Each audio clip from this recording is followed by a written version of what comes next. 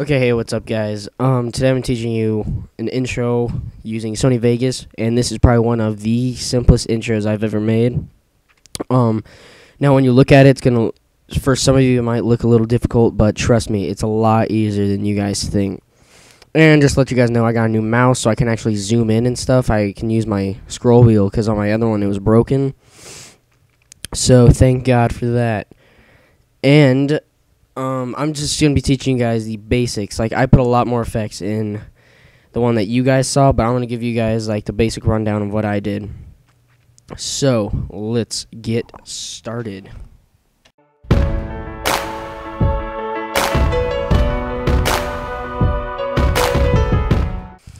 Okay, I hope you guys liked it. Um, I think it's pretty good, and I haven't been using Sony Vegas a lot. I'm sorry because I've been kind of busy lately, and I've been using Cinema 4D a lot.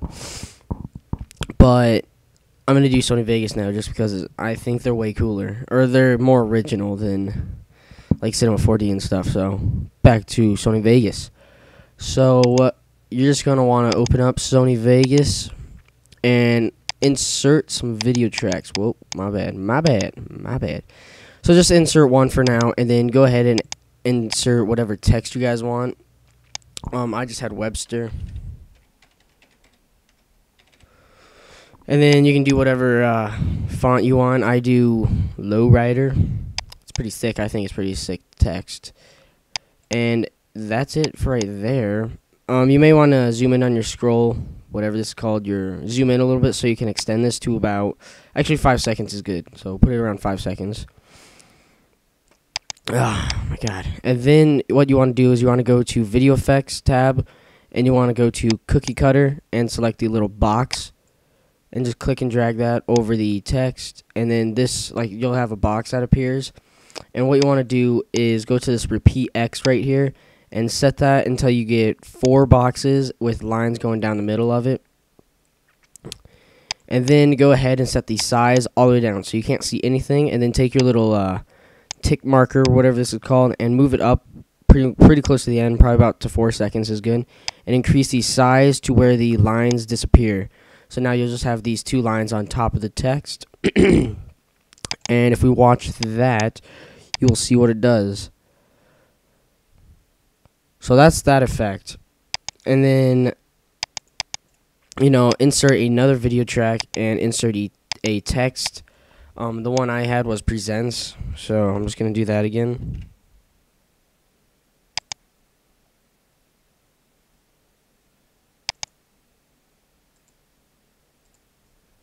All right, sorry guys, I had to do something there. But so once you have your uh, second text, go ahead and drag that underneath the uh, first one. And now you want to go into the first text and click the little event pan and crop and go ahead and move it right to where the lines stop moving. These lines right here stop moving and go ahead and drag it to the left. Drag your little box to the left so it disappears like that. So, if we watch that little bit. Oh, my bad. I'm sorry, guys. Before you do that, make sure you move your little tick marker just in front of that before the movement and make sure you restore it so it will move only at a spe specific time. So, now let's watch it. And it's still, still, oh my god, that's that's amazing. I, I just jizzed a little bit. I know it sounds kind of weird. Next, you want to take the presents and you want to put it right underneath the Websta part. I write or put it try to get it right where the uh, Websta disappears. So right about there. That's kind of lucky. And then you want to go to Event pan and Crop, and you want to go ahead and move it out of the frame. And you want to take your little frame thing and move it to the left. I think. Yeah. Sorry guys, I'm dyslexic. Sorry. And then take your little marker thing and keep going up Hang on a minute, guys. What's up with this, man? What is up with this? Alright, right there it starts moving. Alright. So I was a little off. My bad. My bad. My bad. Alright. So now, if we watch this, you're gonna... It's just gonna be like off the screen and stuff. Move this to about one second and go ahead and restore it. So So now if we watch that. Oh my god. Oh, I'm sorry. Make sure you extend the uh, first text all the way out to match the second text. So those lines will never go away. So now what we've created is that. Oh my god. And that is pretty much the intro. That's what I did. Um, all the rest of the stuff was like a background that I just found by Googling it. I just went to, uh, let's see here. I just went to Google and I searched like cool intro backgrounds.